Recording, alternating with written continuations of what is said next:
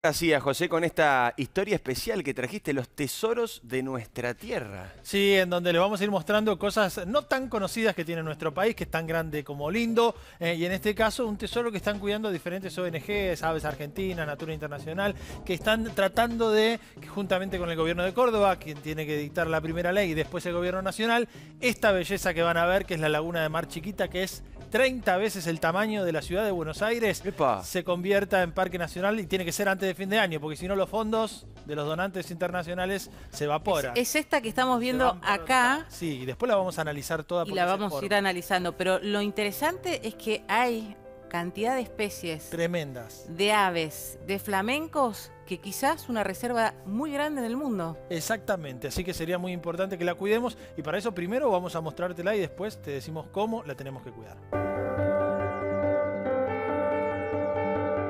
Estamos en la provincia de Córdoba, bien al norte, en Miramar. De un lado la costa y del otro lado el quinto lago salado más grande del mundo. Bueno, Lucila, ¿por qué esto tiene que ser un parque nacional? La Laguna Mar Chiquita y los baños del río Dulce es uno de los ambientes más mega diversos que tiene Argentina hoy. La Laguna Mar Chiquita es el lago salado más grande de Sudamérica, el quinto en el mundo, y su biodiversidad es extremadamente alta, principalmente en lo que corresponde a la bifauna, entre ellos los flamencos. ¿Qué sería la bifauna? Toda la riqueza de aves acuáticas y aves de bosque, de los parches de bosque que colindan acá en la Laguna Mar Chiquita. ¿Y cuál sería el beneficio?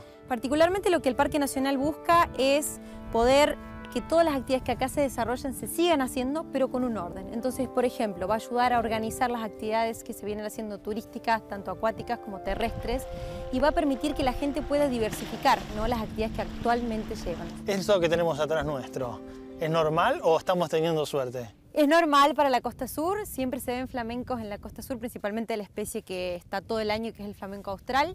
Así que cualquiera que viene a visitar cualquier lugar de la costa puede ver flamencos. No siempre tienen tanta suerte de ah. verlos tan de cerca, pero sí se ven. Buenas.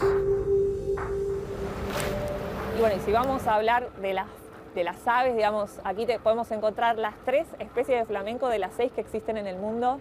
Eh, las abundancias son enormes, digamos. Esta laguna sustenta prácticamente toda una población de flamencos, estamos hablando de 350.000 individuos que reproducen y tienen todo su ciclo de vida aquí.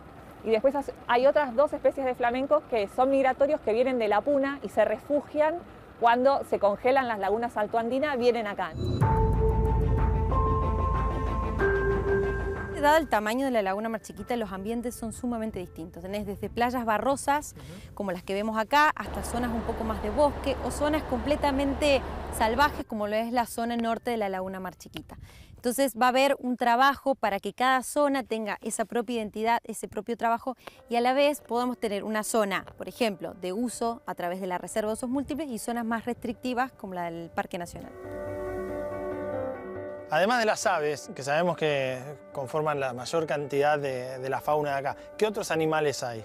Bueno, tenemos un montón de representantes de nuestra fauna nativa chaqueña, que son los mamíferos, desde el puma, yaburundí, pecarí y nuestra estrella, que es el aguaraguazú, que todavía habita en estas zonas de, la laguna. Ustedes tienen otra joya acá escondida, que a ustedes le trae eh, muchos logros a nivel internacional, que es otra ave, ¿no? El falaropo, por ejemplo, que es una ave migratoria que viene desde el hemisferio norte y elige la laguna Mar Chiquita para pasar una etapa de su vida. Y ese es difícil de ver. Sí, ese sí. Pero nosotros... Ustedes lo acaban de ver, así que son unos afortunados. A ver, son aquellos que están allá atrás, ¿no? Están allá atrás, están volando, pueden verse en grupos más pequeños o en grupos de cientos de miles. Son muy llamativos porque se los ven en estas bandadas gigantes que a veces uno ve un documental de otra parte del mundo y nosotros los tenemos acá.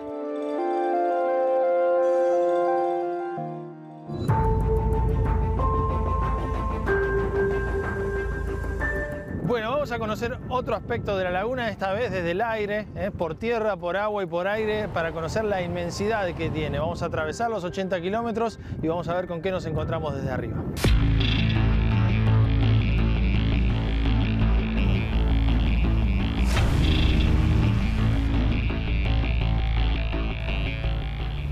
Realmente se ve como un mar, desde arriba es impresionante, pero en un ratito vamos a estar en el centro de la laguna y no va a haber costa casi para ningún lado. infinito, hasta el horizonte hay agua.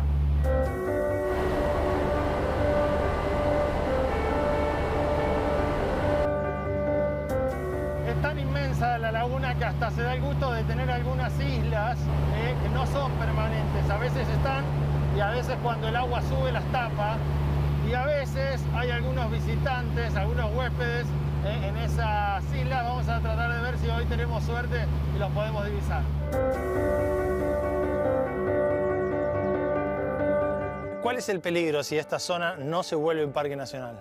Estamos hablando, como decíamos al principio, que es una de las zonas más megadiversas del planeta. Si algo le pasa a este humedal, animales que vienen acá a pasar una etapa de su vida y si acá les pasa algo, no pueden ni siquiera regresar a sus áreas, por ejemplo, reproductivas o donde pasan estas estaciones del año. Las acciones que se llevan a cabo de conservación en ciertas regiones impactan en la población en su totalidad.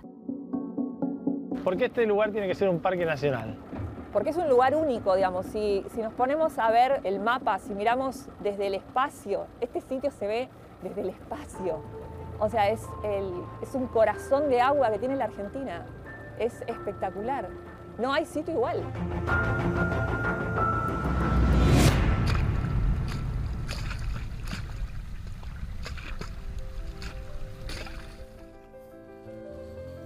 Bueno, esto está en la Argentina, Sí. provincia de Córdoba, es nuestro. Es nuestro, en el límite con Santiago del Estero. eh, y en principio serían 400.000 hectáreas de este futuro parque nacional. eh, y vamos a ver un poquito de qué es lo que sucede. ¿Por, por qué agua salada? Si llegan ríos como por ejemplo el río Dulce, el río Primero, el río Segundo, que vienen de las sierras de Córdoba. Cada gota que cae en la sierra de Córdoba va acá. Y lo mismo el río Dulce. ¿Pero por qué se convierte es en- salado, claro. Eh, porque cada gota que llega tiene un componente salino, muy poquito, llega a ser dulce para la boca, por ejemplo, pero con el correr de los años sigue llegando esa, esa baja concentración de sales, el agua se va evaporando y queda cada vez mayor concentración de sal. Flamencos con estos colores, además, que uno los ve en, la- en los documentales, uno nunca pensaba que podían estar tan cerquita. No, y además, imagínate en el mundo, te digo, se creía que había eh, 350.000. Bueno, encontraron acá 350.000 solamente en la Argentina, con lo cual casi que cuando contaron de verdad estas ONGs, se dieron cuenta que acá teníamos lo que se creía que había en todo el mundo de estos. Y estos son eh, los preferidos de los que entienden, eh, son unos pajaritos muy chiquititos, esos que veíamos volar, eh, los falaropos, que van y vienen hasta el hemisferio norte, o sea, hasta Canadá, y vienen y en muchos casos usan de estación eh, para seguir su ¿Estos vuelo hacen hacia el sur. aislamiento cuando vienen de Canadá? No. Estos no, pero te cuento un dato que leí a último momento. Fíjense la ruta ¿no? que tienen y cómo Todo van este recorrido hacen. Exactamente, cada año. Mientras que algunos flamencos se quedan todo el año acá. Eh, pero esos pajaritos que veíamos, los falaropos, las pajaritas en realidad, eh, son de las pocas especies que tienen muchos machos. Mirá vos, Re- qué bien, Me ¿eh? Una divierte más esto. Muy interesante más. Falaropas. Mañana hay segunda parte, querido José, pero de noche y Sí. con un hotel fantasma. Porque hay encantos alrededor de esta zona. Y quiero aclarar la última cosa, mientras vemos algunas de las imágenes que vamos a ver mañana. Caminamos de noche. Eh, que se convierta en parque nacional no implica que nadie más pueda entrar, ni que los veraneantes no puedan ir más a las costas No, de la al laguna. revés. Es como el lago Nahuel Huapi, que vos podés ir, bajar con el barco. Hay algunos permisos que cumplir, pero siempre para cuidar a la flora y a la fauna local, que de noche aparece, ¿eh? Así que Muy mañana bueno, vamos a mostrar. esperamos mañana, entonces ¡Qué muy miedo! ansioso. Y el Gracias, hotel embrujado. El hotel embrujado.